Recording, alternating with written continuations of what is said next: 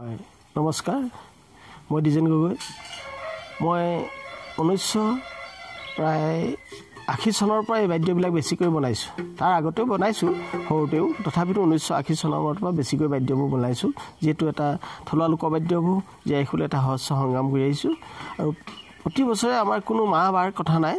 প্ৰতি মাহে আমি সকলো বাদ্য বনাই থাকোঁ অনবৰতে। সকলো বাদ্য অসমৰ যিমান থলুৱা লোকবাদ্য আছে সকলো জাতি জনজাতি কিন্তু এইবাৰ কৰোণা ভাইৰাছে আমাক অকণমান অসুবিধা কৰিছে।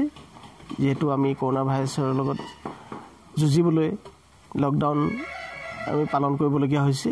আৰু সকলো অসমবাসী ৰাইজক মই আজি অনুৰোধ কৰিছোঁ যে আপোনালোকে যি আমাক চৰকাৰে আদেশ দিছে যে কৰোণা ভাইৰাছৰ পৰা বাচিবৰ বাবে আমি লকডাউন পালন কৰিব লাগে সকলোৱে কৰক।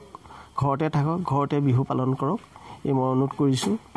কাৰণ বিহুটো আমি জীয়াই ৰাখিবই লাগিব। তথাপিতো ঘৰতে আপোনাৰ সকলোৱে যাতে বাদ্যচিত্ৰ বজাই বিহু গাই পিনি নিজে ঘৰে ঘৰে বিহু পালন কৰক। এই মই অনুৰোধ কৰিছোঁ। এনেকুৱা হৈছে